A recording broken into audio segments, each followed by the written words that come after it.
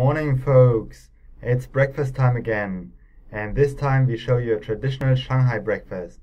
It consists of several ingredients which you would probably not generally think about when hearing the word breakfast.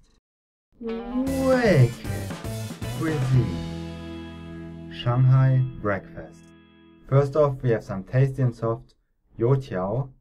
Youtiao means literally oil stick and is a kind of Chinese churros. As the name suggests, they are made from strings of dough which are deep fried golden brown. There's nothing special to the dough really, but the result is mouth watering good. Then we have xianya dan, duck eggs. But not just any old duck eggs. These are salty duck eggs.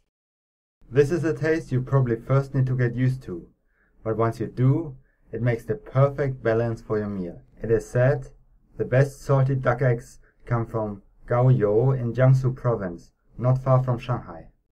Next up we have jianbing, a type of Chinese pancake. The pancake is fried with extra egg, pork and several vegetables for a very savory taste. For soup we had tofu nao. Tofu nao, literally tofu brain, is made with very soft tofu and we already showed you a kind of tofu nao when we talked about our Shandong breakfast. Here we have two further kinds. The savory one is made with soy sauce, seaweed, small shrimps and vegetables. The sweet one is simply made with sugar. If you want to see Chinese get passionate, just ask them whether they like their tofu nao sweet or savory.